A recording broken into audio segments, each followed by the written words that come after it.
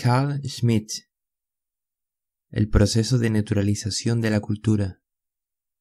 Conferencia en la Asamblea de la Unión para la Cooperación Cultural en Barcelona. Nosotros, los de la Europa Central, vivimos bajo los ojos de los rusos. Desde hace un siglo, su perspicacia psicológica ha penetrado nuestras grandes palabras y nuestras instituciones su vitalidad es bastante fuerte para apoderarse de nuestros conocimientos y nuestra técnica y convertirlos en armas. Su afán por el racionalismo y al contrario, su fuerza para la ortodoxia lo bueno y lo malo son enormes.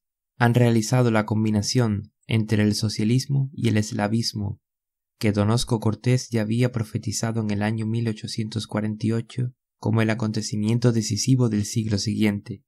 Esta es nuestra situación, no se podrá decir ninguna palabra notable sobre la cultura y la historia si antes no somos conscientes de la verdadera situación cultural e histórica. Muchos nos han dicho, sobre todo Benedetto Croce, que todo conocimiento histórico es conocimiento del presente y recibe del presente su luz y su intensidad, y sólo sirve, en el sentido más profundo, al presente, porque todo espíritu es únicamente espíritu presente, en numerosos historiadores célebres de la última generación tenemos aún la simple verdad a la vista, y hoy día ya no hay nadie que se deje engañar por montones de material, tanto más cuanto toda representación y construcción histórica rebosa de proyecciones e identificaciones ingenuas. Por consiguiente, lo primero sería el darse cuenta de la verdadera situación actual. Este era el sentido de aquella observación sobre los rusos. Una actualización consciente es hoy difícil, pero precisamente por eso tanto más necesaria. Todos los síntomas indican que los europeos vivimos todavía un periodo de cansancio y de intentos de restauración, como suele acontecer, y es comprensible, después de las grandes guerras. Casi una generación entera de europeos estuvo en el siglo XIX, después de la guerra de coalición de veinte años contra Francia, desde 1815, en tal estado de espíritu que se puede reducir a la fórmula legitimidad del statu quo. Todos los argumentos de un tiempo tal contienen, en realidad, menos la reviviscencia de las cosas pasadas o decrépitas que un algo convulsivo, tanto en la política exterior como interior. Hay cosa mejor que el statu quo.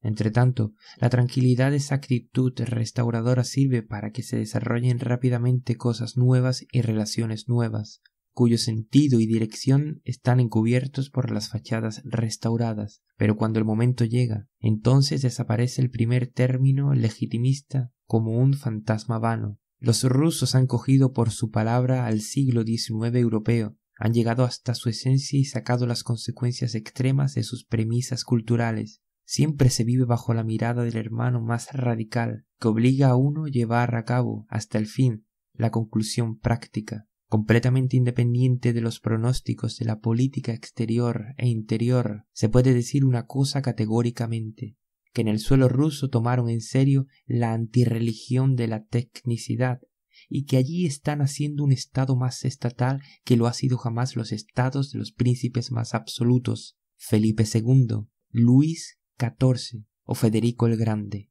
Todo eso solo es comprensible como situación cultural tomando como punto de partida la evolución de Europa en los últimos siglos, pues consuma y sobrepuja las ideas culturales específicamente europeas y muestra, con un aumento enorme, la esencia de la historia moderna de Europa, la gradación de las esferas centrales de la vida cultural.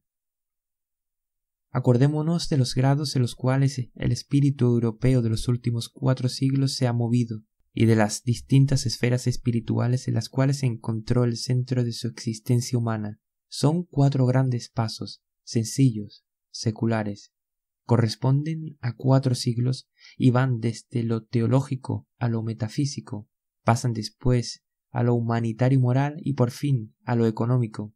Los grandes intérpretes de la historia de la humanidad, Vico, y Comte han extendido ilimitadamente este proceso europeo en forma de ley general de la evolución humana, que luego se ha propagado en miles de banalizaciones y vulgarizaciones, en la famosa ley de los tres estadios, de lo teológico a lo metafísico, y de esto a lo científico o positivismo. A la verdad, no se puede decir positivamente sino que la humanidad europea ha dado desde el siglo XVI varios pasos desde una esfera central a otra y que todo lo que constituye el contenido de nuestra evolución cultural está bajo el efecto ulterior de tales pasos.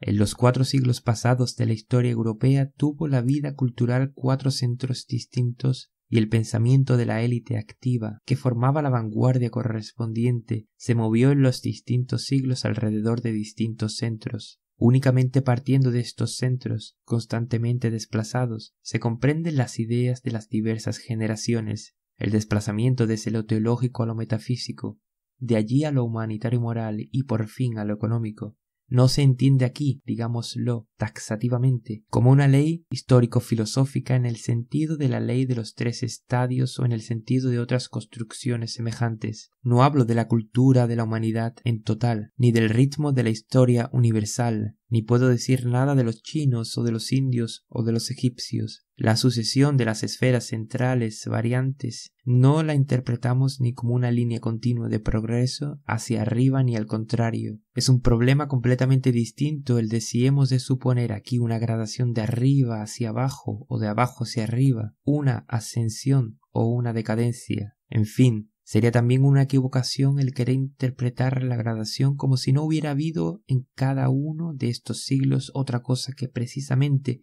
la esfera central. Más bien existe siempre una yuxtaposición plural de diferentes grados culturales, hombres del mismo tiempo y del mismo país, hasta de la misma familia. Viven unos al lado de otros en distintos grados, y el Berlín actual está en la línea directa cultural más cerca de Nueva York y de Moscú de Múnich o Treveres.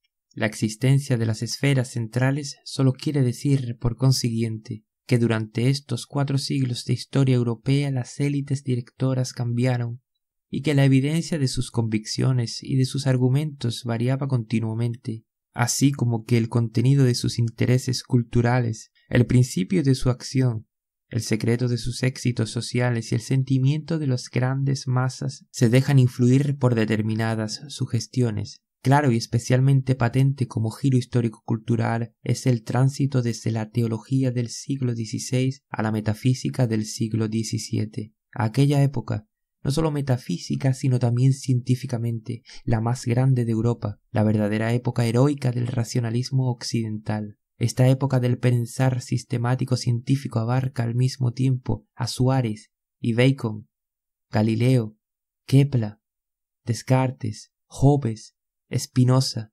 Pascal, Leibniz y Newton. Todos los asombrosos conocimientos matemáticos, astronómicos y naturales de aquel tiempo estaban articulados dentro de un gran sistema metafísico o natural. Todos los pensadores eran metafísicos de gran envergadura, y hasta la superstición característica del tiempo era cósmico racionalista bajo la forma de astrología. El siguiente siglo, el siglo XVIII, apartó la metafísica a un lado mediante las construcciones de una filosofía teísta y fue una vulgarización en gran estilo esclarecimiento y asimilación literaria de los grandes acontecimientos del siglo XVII, humanización y racionalización. Se puede perseguir en detalle cómo Suárez sigue actuando en innumerables escritos populares respecto a muchas nociones fundamentales de la moral y de la teoría del Estado. Pufendorf no es más que un epígono de Suárez, y en fin, el contrato social de Rousseau, a su vez, nada más que una vulgarización de Pufendorf pero el pathos específico del siglo XVIII es el de la virtud y su palabra mítica es virtud. Ni siquiera el romanticismo de Rousseau salta conscientemente el marco de las categorías morales. Una expresión característica de este siglo es la noción de Dios en Kant, en cuyo sistema aparece Dios solo como un parásito de la ética como se ha dicho algo groseramente. Luego sigue con el siglo XIX, un siglo de conciliación aparentemente híbrida e imposible, de tendencias estético-románticas y económico-técnicas. En realidad, significa el romanticismo del siglo XIX, si no queremos hacer de esta palabra algo dadaísta de romanticismo un vehículo de confusiones, solamente el grado intermedio de lo estético entre lo moralista del siglo XVIII y el economismo del siglo XIX, significa solamente un tránsito realizado por virtud de la estetización de todas las esferas espirituales y desde luego muy fácilmente y con muy buen resultado, pues el camino desde lo metafísico y moral a lo económico pasa por lo estético y el rodeo que se da por el consumo y goce estéticos, aunque muy sublime, es el camino más seguro y más cómodo para llegar a la economización general de la vida espiritual y a un estado de espíritu que encuentra en la producción y en el consumo las categorías centrales de la existencia humana. El esteticismo romántico sirve por consiguiente dentro de la evolución cultural a lo económico y es un fenómeno conexo típico pero todavía lo técnico aparece en el siglo XIX en íntima combinación con lo económico, como industrialismo. De esto es ejemplo característico la conocida teoría marxista de la historia y de la sociedad, que toma lo económico por base y fundamento, por cimiento o infraestructura de todo lo espiritual. En la médula de lo económico ve, desde luego, lo técnico, y define las épocas económicas de la humanidad según el medio técnico específico. A pesar de eso, es el sistema como tal un sistema económico, y el elemento del tecnicismo se presenta únicamente en vulgarizaciones posteriores. En total, el marxismo piensa económicamente y por eso queda dentro del siglo XIX, que es esencialmente económico. Desde luego, ya en el siglo XIX el progreso técnico llega a ser tan asombroso y por consiguiente las situaciones sociales y económicas cambian tan rápidamente que todos los problemas morales, políticos, sociales y económicos se contagian de la rapidez de esta evolución técnica. Bajo la sugestión inmensa de inventos y realizaciones siempre nuevos y sorprendentes, nace una religión del progreso técnico, para la cual todos los demás problemas se resuelven por sí mismos, precisamente por el progreso técnico.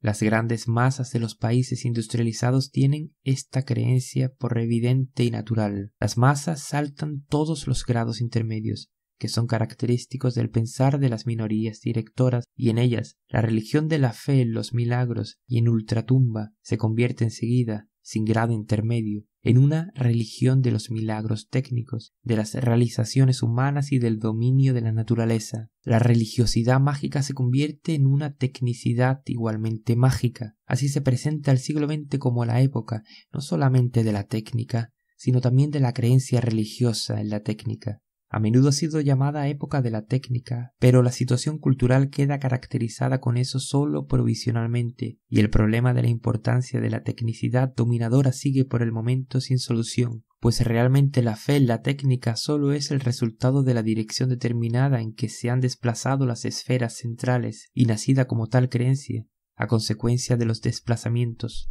Todos los conceptos de la esfera cultural, inclusive la palabra cultura misma, son en sí pluralísticas y sólo pueden entenderse partiendo de la existencia cultural concreta. Como cada nación tiene una idea propia de nación y encuentra los caracteres constituyentes de la nacionalidad dentro de sí misma y no en las otras, así tienen cada cultura y cada época de cultura su propia noción de cultura. Todas las representaciones esenciales de la esfera espiritual del hombre son existenciales y no normativas. Al desplazarse continuamente el centro de la vida espiritual en los últimos cuatro siglos, varían por consiguiente también continuamente todas las nociones y palabras y es preciso acordarse de la multisignificación de cada palabra y noción. La mayoría de las equivocaciones y las más groseras, de las cuales desde luego muchos embusteros viven, se explican por el traspaso erróneo de una noción nacida en una esfera determinada, por ejemplo, solamente en la metafísica o solo en la moral o solo en la económica, a las otras esferas de la vida espiritual, no se trata sólo de que los procesos y acontecimientos que impresionan a los hombres interiormente y que llegan a ser objeto de su reflexión y de sus conversaciones se relacionen siempre con la esfera central. El terremoto de Lisboa, por ejemplo, fue capaz de provocar en el siglo XVIII un oleaje de literatura moralizante, mientras que hoy un acontecimiento de tal especie no impresiona profundamente. Pero una catástrofe en la esfera económica una gran baja del cambio o una quiebra no solo ocupan vivamente el interés práctico, sino también el teórico. También las ideas específicas de cada siglo reciben su sentido característico desde la esfera central de ese siglo. Se ha permitido aclararlo con un ejemplo. La idea, por ejemplo, de un progreso, de un mejoramiento y de una perfección, modernamente hablando de una racionalización, se hizo dominante en el siglo XVIII, precisamente en un tiempo de creencia en lo humanitario moral. Progreso significaba, por consiguiente, sobre todo, progreso en la cultura, progreso en la formación, en el autodominio y en la educación, en la perfección moral. En un tiempo de pensar económico o técnico se considera el progreso, tácita y evidentemente, como progreso económico o técnico, y el progreso humanitario moral aparece, en la medida en que puede interesar, como producto accesorio del progreso económico. Cuando una esfera ha llegado a ser esfera central, entonces se resuelven los problemas de las otras esferas desde aquella y se consideran solamente como problemas de segundo rango, cuya solución viene por sí misma en cuanto los problemas de la esfera central estén resueltos. Así resulta en una época teológica, todo resuelto por sí mismo si los problemas teológicos están arreglados. Lo demás es entonces a los hombres concedido de añadidura.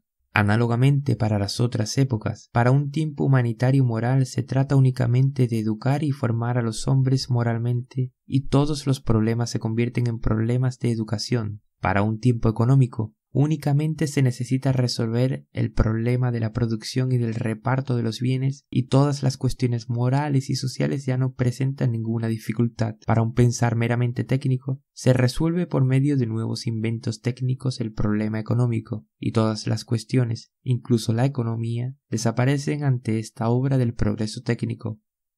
Otro ejemplo sociológico del pluralismo de las nociones culturales la aparición típica del representante de la intelectualidad y de la publicidad, del cleric, se determina en su particularidad específica para cada siglo desde el punto de vista de la esfera central. Al teólogo y predicador del siglo XVI sigue el sabio sistemático del siglo XVII, que vive en una verdadera república de sabios, muy distante de las masas. Luego siguen los escritores de la Aufklärung del siglo XVIII, que todavía es aristocrático, en lo que se refiere al siglo XIX, no hay que desconcertarse por el intermezzo del genio romántico y los muchos sacerdotes de una religión particular. El cleric del siglo XIX el mayor ejemplo es Karl Marx, se hace experto económico y el problema se limita a saber hasta qué punto el pensar económico permite el tipo sociológico del cleric y en qué medida los economistas nacionales y los síndicos con formación económica pueden representar una clase espiritual de guías. Para el pensar tecnicista ya no parece posible un cleric, de lo cual hay que hablar todavía más adelante, al tratar de esta época del tecnicismo. La pluralidad del tipo clerk queda después de estas cortas indicaciones bastante clara. Como ya hemos dicho, todas las nociones y representaciones de la esfera cultural, Dios, libertad, progreso, las representaciones antropológicas de la naturaleza humana, de lo que es opinión pública, racional y racionalización, en fin, tanto el concepto de naturaleza como el concepto de la cultura misma, todo recibe su concreto sentido histórico de la situación de la esfera central y solamente desde ese punto de vista es inteligible, pero ante todo es el Estado el que recibe su realidad y su fuerza de la esfera central respectiva. Mientras que lo religioso teológico ocupaba el centro, tenía la frase cuyus regio, eius religio, un sentido político. Cuando lo religioso teológico cesó de ser esfera central perdió también esta frase su interés práctico. Entretanto ha emigrado a través del estadio de la nación y del principio de las nacionalidades, cuyus regio eius natio, a lo económico, y quiere decir entonces, en un estado determinado no puede haber dos sistemas de economía contradictorios. El orden económico capitalista y el comunista se excluyen mutuamente. El Estado soviético ha realizado el principio cuyus regio eius economia en un grado que muestra que la conexión entre la esfera compacta y la homogeneidad cultural compacta no existe solamente para las luchas religiosas del siglo XVI, ni solamente para la masa de los estados europeos medios o pequeños, sino que no hace más que adaptarse a las variantes esferas centrales de la vida cultural y a las dimensiones variables de los grandes imperios autárquicos. Lo esencial de este fenómeno consiste en que un estado económico homogéneo responde al pensar económico, Un Estado de esta clase quiere ser un Estado moderno, consciente de la propia situación del tiempo y de la cultura. Debe tener la pretensión de conocer exactamente todo el desarrollo histórico. Sobre eso se fundamenta su derecho a reinar. Un Estado que en una época económica renuncia a conocer y guiar rectamente por sí mismo las condiciones económicas, se declara neutral frente a las cuestiones y decisiones sociales y renuncia con eso a su pretensión de reinar. Ahora bien, es un fenómeno digno de notar que el Estado europeo liberal del siglo XIX se pudo presentar a sí mismo como Estado neutral y agnóstico, y pudo ver justamente en su neutralidad su derecho a existir. Eso tiene diversas causas y no se puede explicar con una sola palabra ni con una sola causa. Aquí interesa como síntoma de una neutralidad cultural general, porque la doctrina del Estado neutral del siglo XIX está dentro del marco de la tendencia general hacia la neutralidad cultural que es característica de la historia europea en los últimos siglos. Aquí reside, creo yo, la explicación histórica de lo que se ha llamado la época de la técnica. Eso exige aún una exposición, aunque sea corta. La dirección inmanente del proceso cultural hacia la neutralización. La gradación antes expuesta desde lo teológico a través de lo metafísico y lo moral a lo económico significa al mismo tiempo una serie de neutralizaciones progresivas de aquellas esferas de que ya se había desplazado el centro de gravedad. En mi opinión, el más fuerte de todos los cambios culturales de la historia europea es el paso en el siglo XVII desde la teología cristiana tradicional al sistema de las ciencias naturales. Hasta el día ha sido determinado por este paso la dirección que toda la evolución ulterior tenía que tomar. Bajo la gran presión de este proceso están todas las leyes generalizadoras de la historia de la humanidad, como la ley de los tres estadios y otras construcciones históricas filosóficas semejantes. En el centro de este asombroso cambio existe un motivo fundamental, elemental y sencillo que iba a ser determinante para muchos siglos, a saber, el anhelo de una esfera neutral, Después de las disputas y querellas teológicas desesperadas del siglo XVI, buscaba la humanidad europea una esfera neutral en la cual la disputa cesara y en donde los hombres pudieran entenderse, conciliarse y mutuamente convencerse. Por eso se hacía abstracción de los discutidos conceptos y argumentaciones de la teología cristiana tradicional y se construía un sistema natural de la teología, de la metafísica, de la moral y del derecho, este proceso histórico ha sido descrito por Dilthey en una explicación, con razón famosa, en la cual se acentúa sobre todo la gran importancia de la tradición estoica.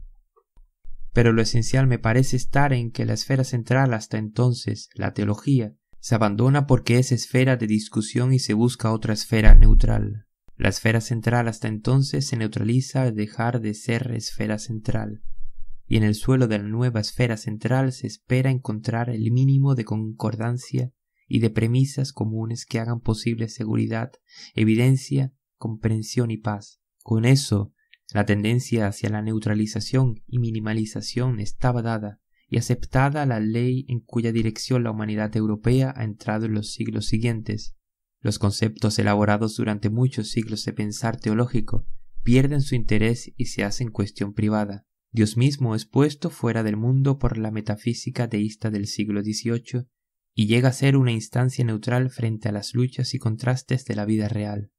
En el siglo XIX llegan a ser primero el monarca, luego el Estado una magnitud neutral, y así se realiza en la doctrina liberal del poder neutral y del Estado neutral, un capítulo de teología política, en el cual el proceso de la neutralización encuentra sus fórmulas clásicas porque se ha apoderado ahora también de lo último, del poder político, pero es propio y característico de la dialéctica de la evolución cultural, que se cree precisamente por virtud del desplazamiento de la esfera central un nuevo terreno de lucha.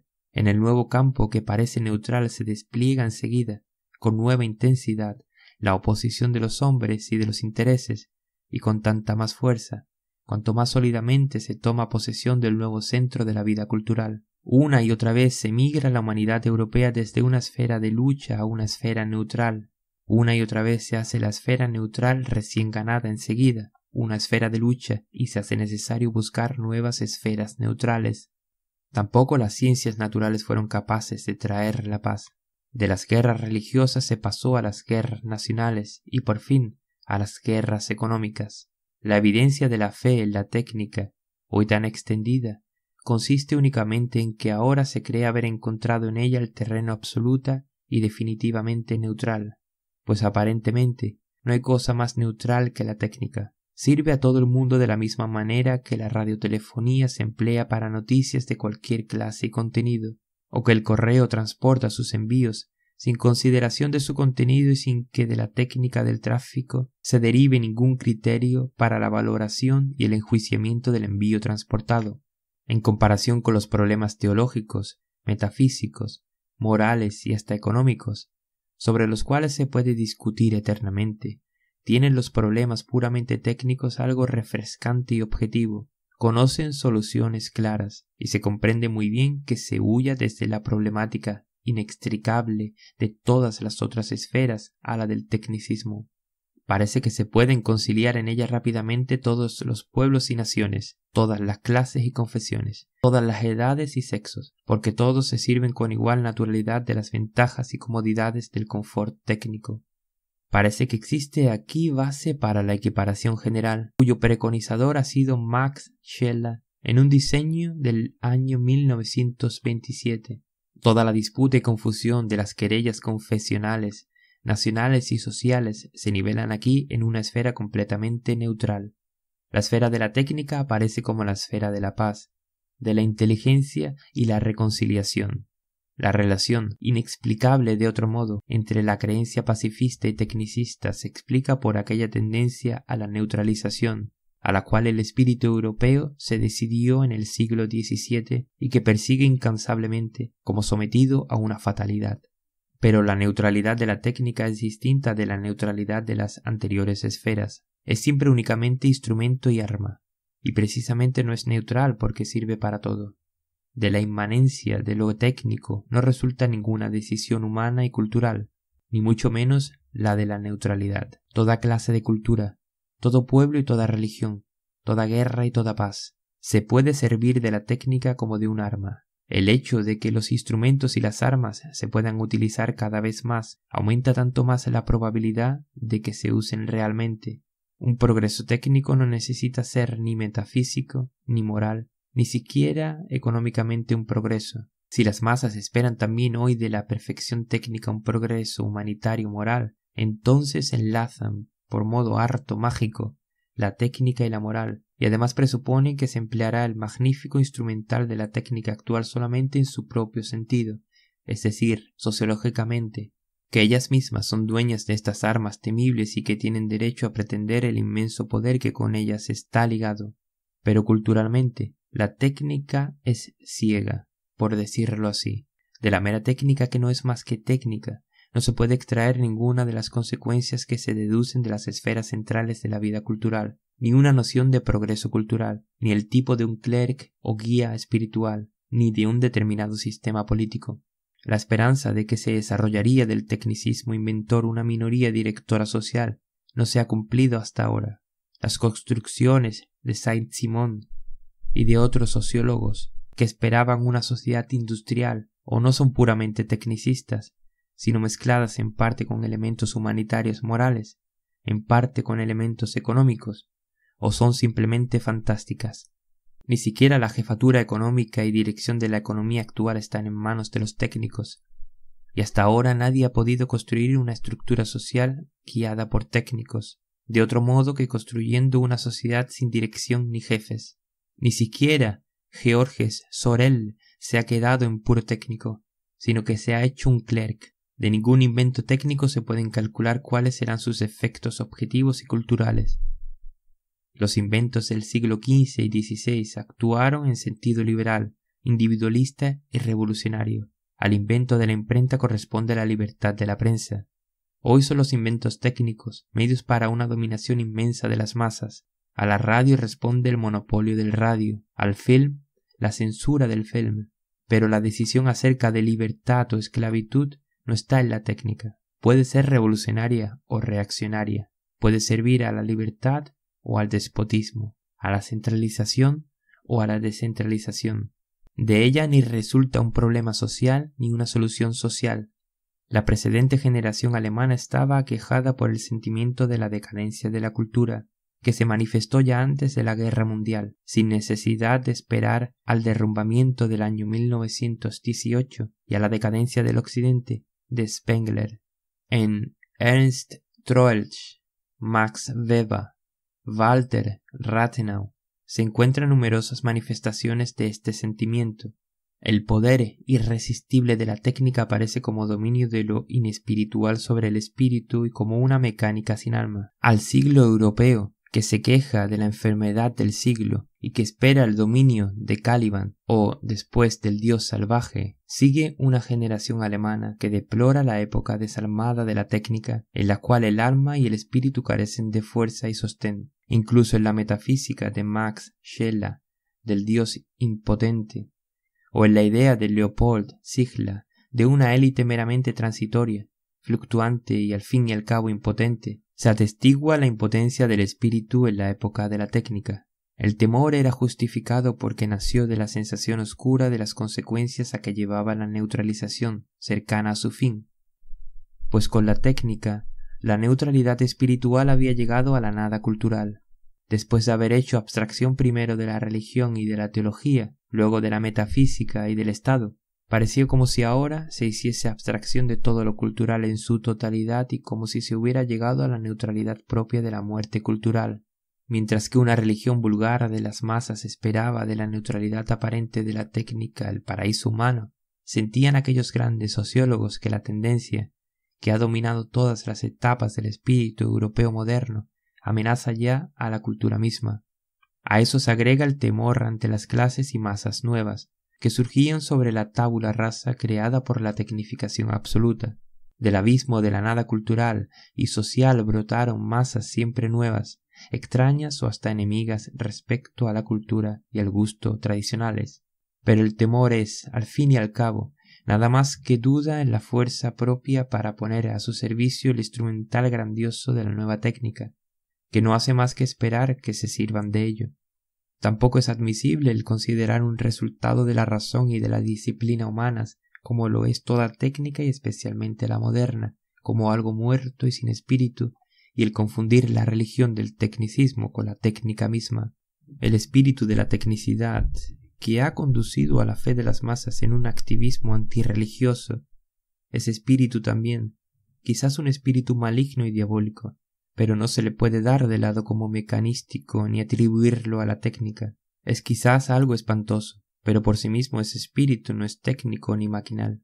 Es la convicción en una metafísica activista, es la creencia en el poder y dominio ilimitados del hombre sobre la naturaleza, hasta sobre la fisis humana, una creencia en el retroceso indefinido de los límites de la naturaleza, una creencia en la posibilidad de transformar ilimitadamente la vida natural de los hombres, a eso se le puede denominar fantástico y satánico, pero no simplemente muerto, sin alma y mecanizado. También nació el temor ante la nada cultural y social más bien de un miedo pánico por el status quo amenazado que del conocimiento sobre la particularidad de los procesos culturales y de su dinámica. Todos los impulsos nuevos y grandes, Toda revolución y reforma, toda élite nueva, procede del ascetismo y de la pobreza voluntaria o involuntaria, en donde por pobreza entendemos ante todo la renuncia a la seguridad del status quo.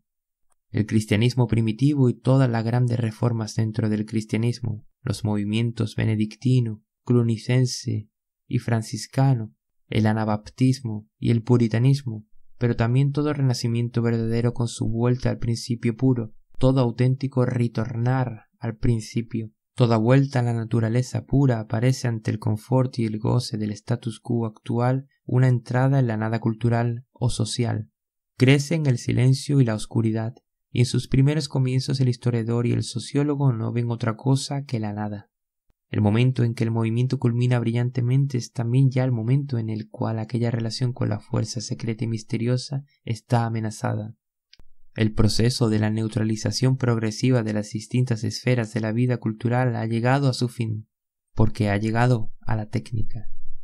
La técnica ya no es suelo neutral en el sentido de aquel proceso de la neutralización. Toda cultura fuerte se servirá de ella. Por eso no puede ser más que un estado provisional el concebir el siglo actual en sentido cultural como un siglo técnico. El sentido definitivo resulta solo cuando se muestre qué clase de cultura es bastante fuerte para apoderarse de la nueva técnica y cuáles son las verdaderas agrupaciones amigas y enemigas que crecen sobre el suelo nuevo. Las grandes masas de los pueblos industrializados son hoy día secuaces de una oscura religión del tecnicismo, porque ellas, como todas las masas, buscan la última consecuencia y porque creen inconscientemente que la técnica se ha encontrado en la neutralidad absoluta que se buscaba desde hace siglos, y con la cual la guerra acaba y la paz universal comienza. Pero la técnica no puede hacer otra cosa que aumentar la paz o la guerra. Está dispuesta a ambas cosas en igual medida, y el nombre y conjuro de la paz no varía nada con ello. Nuestra mirada atraviesa hoy la niebla de los nombres y de las palabras, con los cuales trabaja el mecanicismo psicotécnico de sugestionar las masas. Hasta conocemos la ley secreta de este vocabulario y sabemos que hoy las guerras más temibles son posibles únicamente en nombre de la paz, y la esclavitud más espantosa solo en nombre de la libertad, y la inhumanidad más terrible únicamente en nombre de la humanidad. Nuestra vista penetra por fin también la situación anímica de aquella generación que vio en la época del tecnicismo únicamente la muerte espiritual y la mecánica sin alma. Conocemos el pluralismo de la vida espiritual y sabemos que la esfera central de la existencia cultural no puede ser ninguna esfera neutral y que es un error querer resolver un problema cultural con las antítesis de mecánico y orgánico, de muerte y vida. Una vida que fue frente a sí misma nada más que la muerte ya no es vida, sino impotencia e inanidad, que ya no tiene otro enemigo que la muerte, y quien en su enemigo no ve nada más que una mecánica hueca, está más cerca de la muerte que de la vida. La cómoda antítesis de lo orgánico y mecánico es en sí mismo algo vasto y mecánico. Una agrupación que ve en un lado únicamente espíritu y vida y en el otro lado solamente muerte y mecanicismo, no significa más que una renuncia a la lucha y no tiene otro valor que el de un canto fúnebre y una queja romántica. Pues la vida no lucha con la muerte y el espíritu no lucha contra lo inespiritual. El espíritu lucha contra el espíritu, la vida contra la vida, y de la fuerza de un saber íntegro nace el orden de las cosas humanas. Ab íntegro nascitur ordo. Carl Schmidt